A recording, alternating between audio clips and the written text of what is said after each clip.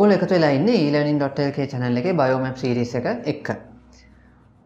මීට ටික දවසකට කලින් අපි biomap series එකේ කතා කරා දෙවෙනි ලෝක යුද්ධයේ කාලේ සෝවියට් දේශයේ රතු හමුදාවට නායකත්වය දීපු මාෂල් ජෝර්ජි ෂූකොෆ් ගැන. අද අපි කතා කරන්න යන්නේ ෂූකොෆ් වගේම සෝවියට් හමුදාවල් වලට නායකත්වය දීපු තවත් එක මාෂල්වරයෙක් ගැන. දැන් ෂූකෝෆ්ගේ නම ගොඩක් වෙලාට කතා බහට ලක් කරන හින්දා අනික් මාෂල්වරු ගැන අපි ලොකුවට සමහරලාට අහන්නේ නැහැ.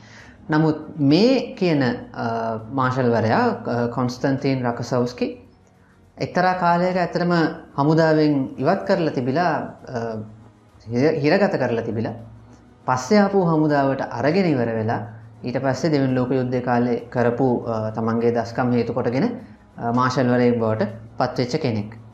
ඒවගේ මොහු කියල තියෙන එක්තර අවස්ථාවක ඔහු තමයි සෝවියට් දේශයේ අවාසනාවන්තව මාශල්වරයා කියලා. ඉති ඇයි එහෙම කිව්ව කියන එක අපි කතා කරමු මේ අපේ කතාබහ ඉස්සරහට කරගෙන යද්දි. ඒ වගේම තමයි එයාගේ ජීවිත කාලයා විශේෂම අන්තිම අවුරුදු වල දිගටම හැම වෙලාවකම අතේ පිස්තෝලයක් තියාගෙන ඉඳලා තියෙනවා ඔහුගේ ගාව. ඇයි එහෙම වුණේ කියන කියලා ඒක විශේෂ දෙයක් මොකද සාමාන්‍යයෙන් එහෙම වෙන්නේ නැහැ. ඉතින් ඒකටත් හේතුවක් තියෙනවා අපි ඒ කාරණා ගැනීම අපි ඉස්සරහට කතා කරගෙන යම්. කොන්ස්ටන්තින් රකසෝව්ස්කි කියන්නේ විශේෂ චරිතයක් සෝවියට් ඉතිහාසය ගත්තම රුසියන් ඉතිහාසය ගත්තම මොකද ඔහු ඇත්තටම ඔහු ඉපදුනේ වෝසෝ නගරේ පෝලන්තේ. ඔහුගේ පියා ඇත්තටම පෝලන්ත ජාතිකයෙක් පෝලන්තයේ රදල පවුලකට සම්බන්ධ කෙනෙක්. එතකොට රකසෝස්කිගේ පවුලේ අය කැන පරම්පරාව අය ආශ්වරෝක හමුදාව එහෙම සේවය කරලා තියෙන නමුත් රකසෝස්කිගේ පියා දුම්රිය සේවකෙක් විදිහට තමයි රුසියානු අධිරාජ්‍යය තියෙන කාලේ එක්දසම්සේ දාහතර කලින් කාලේ සේවය කරලා තියෙන්නේ. එතකොට රකසෝස්කි උපදින්නේ එක්දසටසේ අනු හය අවුරුද්දේ බෝසෝ නගරේ.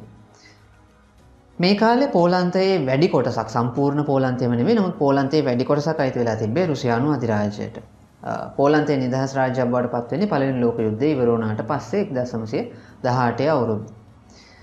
ඉතින් එතකොට කුඩා කාලේ රකසොස්කි ජීවත් වෙන්නේ රුසියානු අධිරාජ්‍යයේ. ඔහුගේ ඔහු තරුණ වියට එළඹෙද්දී ගැන අවුරුදු 14ක් විතර වෙද්දී ඔහුගේ දෙමව්පියෝ ඔහුට ඔහු ඔහුගේ දෙමව්පියෝ ඔහුට නැති වෙනවා. එතකොට ඒ කාලේ වෙනකොට ඔහුට සිද්ධ වෙනවා රැකියාවන් වල නිරත වෙන්න. කාලයක් ඔහු ගල්වඩුවෙක් විදිහට ගල්වඩුවෙක් යටතේ පුහුණුව ලබලා තියෙනවා. ඒ වගේ ඔහු විවිධ රැකියාවන් වල නිරත වෙලා තියෙනවා. ඉතින් මේ විදිහට ඔහුගේ ජීවිතයේ මුල් කාලේ ගෙවිගෙන යද්දි 1914 පළවෙනි ලෝක යුද්ධය පටන් ගන්නවා.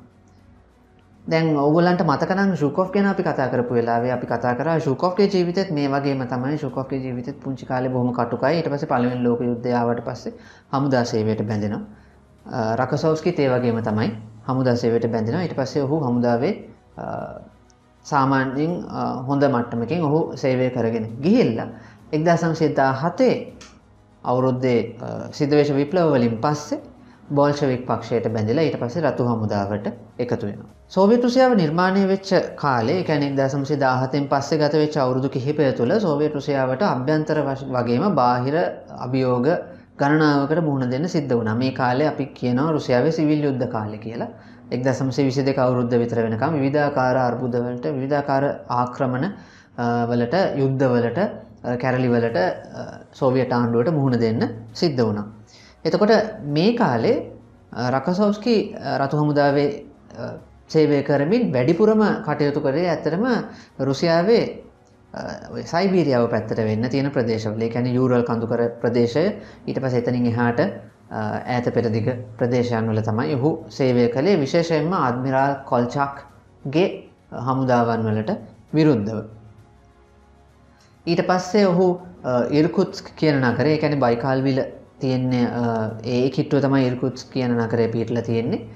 ඒ නගරයේ කාලයක් සේවය කරනවා හමුදාවේ හමුදා නිලධාරියෙක් විදිහට.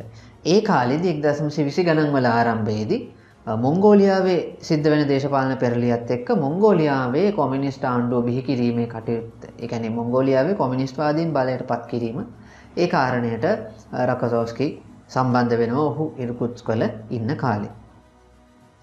මේ කාලේ එක්දසම්සේ විස්ස විතර වෙනකොට සෝවියත් දේශ සෝවි රුසියාව එතකොට. සෝවියත් දේශය වෙලානේ සෝවිය රුසියාව පෝලන්තයත් එක්ක යුද්ධයකට පැටලෙනවා. අලුතෙන් නිදහස් වෙච්ච පෝලන්තයත් එක්ක. ඉති රකසවස්කිගේ උපන් රට වෙන්න එක්තර විදිහට ගත්තොත් පෝලන්තයනේ. කොහොම හරි රකසවස්කි මේ යුද්ධයට සම්බන්ධ වෙන්නේ ඔහු ඊට වඩා සම්පූර්ණයෙන්ම වෙනස් හැතැම්ම දස් ගානක් ඇත වෙනත් ප්‍රදේශයක තමයි රකසවස්කි සේවය කරන්නේ. යුද්ධවලින් පස්සේ සිවිල් යුද්ධ කාලෙන් පස්සේ රකසවස්කි දිගටම හමුදාවේ රැඳෙනවා. ඊට පස්සේ ඔහු අවුරුදු දහයක් පහලක් හමුදා සේවය නිරත වෙමින් ඉන්නකොට එක්දා සම්සේ තිස් හතේදී ඔහුව අත්තඩංගුවට පත්වෙනවා. මෙතෙන්දි තමයි ඇත්තටම බැලුවොත්තේම ශුකෝෆ්ගේ ජීවිතේ රකසෝස්ගේ ජීවිතේ වෙනස් වෙන්නේ ගැන ශුකෝ් එක්දසම්සේ තිස් ගනන් වෙලා අන්තිම කාලය තමයි විශේෂම කල්කින් ගොල් වලදි සිද්ධ වෙච්ච සටනින් පස්සේ ඊට එසේ හමුදාවේ ඉහළ තනතුරකට පත්වෙන්නේ. රකසෝස්කිව එක්දා සමසි තිස් හතේදී අත්තඩංගුවට පත්වෙන ඔහුව ඔහු විදෙස් රටවල් වලට ඔස්තු සැපයවාය කියලා චෝදනාවක් යටතේ. මේ චෝදනා කොච්චර ඇත්තද කියන්න අමාරුයි. මොකද හේතුව මේ කාලය ඇත්තටම ස්ථාලින් තමන්ගේ බලය වර්ධනය කර ගැනීම සඳහා කරපු ක්‍රියාන්විතයක ප්‍රතිඵලයක් විදිහට ඇත්තටම තමන්ගේ විරුද්ධවාදීන් වගේම විරුද්ධවාදීන් කෙල සැකරපු විධාකාරයව අරගෙන ගිහිල්ලා එක්කො හිරගත කරා නැත්තං ඝාතනය කරා එහෙමත් නැත්තං අවුරුදු ගනම් පිටුහල් කරා. එමත් නැතම් ඔය අරගුලාග් කියල කියන වැඩ කඳවරු වල අවුරුදු ගණ සමරලාට ස්ටාලින්ගේ මරණය වෙනකම් මේ සමහරය අවුරුදු පහළව දාසය දාහත ඒවයේ ජීවත් වුණ. එතකොට දැන් මේ කාලේ රකසෝස්කිවත් මේ විදිහට හමුදාවෙන් අයින් කරලෙවර වෙලා ඔහුව හිරගත කරනවා. ඉතින් ඊට පස්සේ මේ හිරගත කරපු කාලේ ඔහුට වද දුන්නයි කියලා සඳහන් වෙනවා. විවිධාකාර කතා තියෙනවා. ඒ ගැන රකසෝස්කි පෞද්ගලිකව මේවා ගැන ලොකුවට කතා කරන්න කැමති නැති බව තමයි ඔහුගේ පවුලේ අය පස්සේ කාලෙක සඳහන් කරලා තිබ්බේ. හැබැයි අර අර පිස්තෝලේ කතාව මං වීඩියෝ එකේ මුලදී කතා කරපු රකසෝස්කි ජීවිතයේ පස්සේ කාලෙක දිගටම පිස්තෝලයක් තමන් ගාව තියාගෙන තිබිලා තියෙනවා. මොකද ඌ කියලා තියෙනවා දේශපාලන පෙරලියක් මොකක් හරි කලබ ගෑනියක් වෙලා ආපහු ඔහු අරගෙන යන්න ආවොත් එහෙම KGB එකෙන් හරි කවුරු හරි තමන් යටත් වෙන්න හැ වෙඩි තියාගන්නවයි කියලා.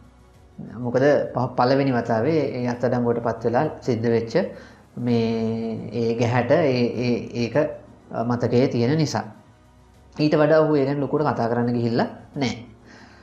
කොහොම හරි 1940 41 වෙනකොට සෝවියට් දේශයේ ආයේ පොඩි පෙරලියක් සිද්ධ වෙනවා.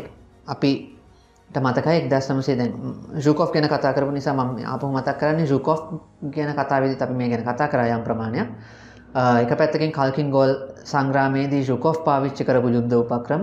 ඒවගේ මනි පැතර එක්ද සමසේ තිස්නමය හතලිහ අවුරුදුවල ෆින්ලන්ත ඇත්තක කරපු යුද්ධේදී සෝවියට් හමුදා බලාපොරොත්තු වෙච්ච තරන් සාර්ථක නොවීම. ඒවගේම පෝලන්තය ආක්‍රමණය කිරීමේදී නට්සි ජර්මන් හමුදා භාවිතා කරව උපක්‍රම කියන කාරණා දැකපු ස්ටාලින් තේරුම් ගන්නවා සෝවියට් හමුදාව නවීකරණය කරන්න අවශ්‍යයි කියලා. මේකට ස්ටාලින්ට හුඟක් පෙළඹවීමක් ඇති කරාය කියලා කියන්නේ මාශල් තිමෝෂෙන්කෝ.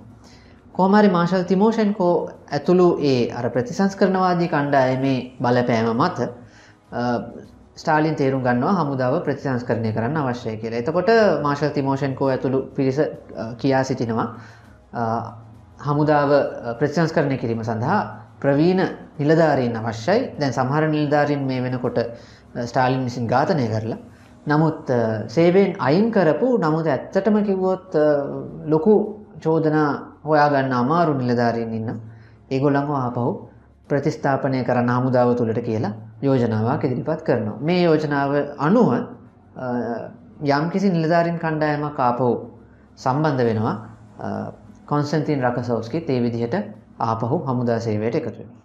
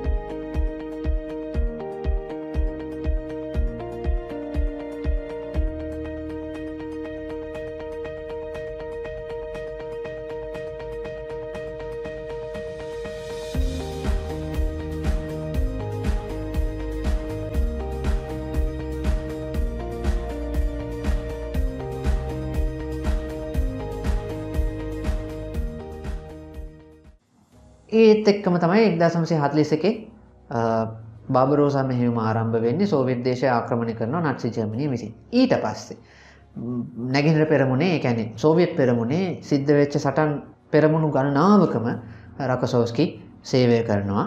මොස්කව්වලට හමුදා වෙනකොට ස්මලෙන්ස්ක් වලදි සිද්ධ වෙච්ච සටනේද ඊට පස්සේ වෙනත් වෙනත් සටන්වලදි දිගටම රකසෝස්කි සේව සේවය කරනවා විශේෂෙන්ම යුද්ධ පෙරමුණේදි සහ ඒ වගේම උපක්‍රමික සැලසුම් සකස් කිරීමේ කටයුතු වලදී.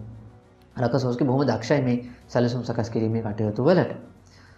එක්දසමසේ හතලිස් දෙක හතලිස් තුන කාලය අපි දන්නවා ස්ථාලින් ග්‍රාඩ් සංග්‍රාමය සිද්ධ වෙන විශේෂම එක්දසමසේ හතලිස් දෙක අවරුද්දේ අගෝස්තු මාස විතර ඉඳලා ස්ථාලින් ග්‍රාඩ් නගරය සම්බන්ධයෙන් සිද්ධ වෙච්ච සටනේදී මේ සටනේදී හයවෙනි හමුදාව ජර්මන් හයවෙනි හමුදාව ස්ටාලින් ග්‍රාඩ් නගරයට එනවා.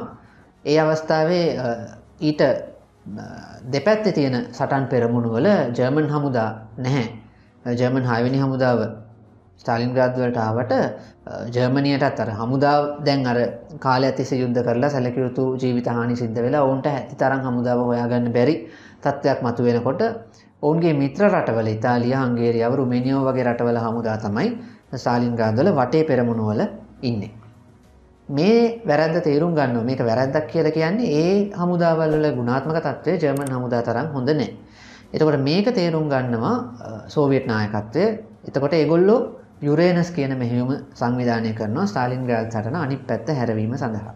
මේ මෙහෙයුම සකස් කරන්න මේ සැලසුම සකස් කරන්න රකසෝස්කි සම්බන්ධ වෙනවා පස්සේ මේ සටන් මෙහවන්නත් ඔහු දායක වෙනවා ඉතින් ස්ටාලින් ජයග්‍රහණයට රකසෝස්කිගේ රිජු දායකත්වයක් තියෙනවා.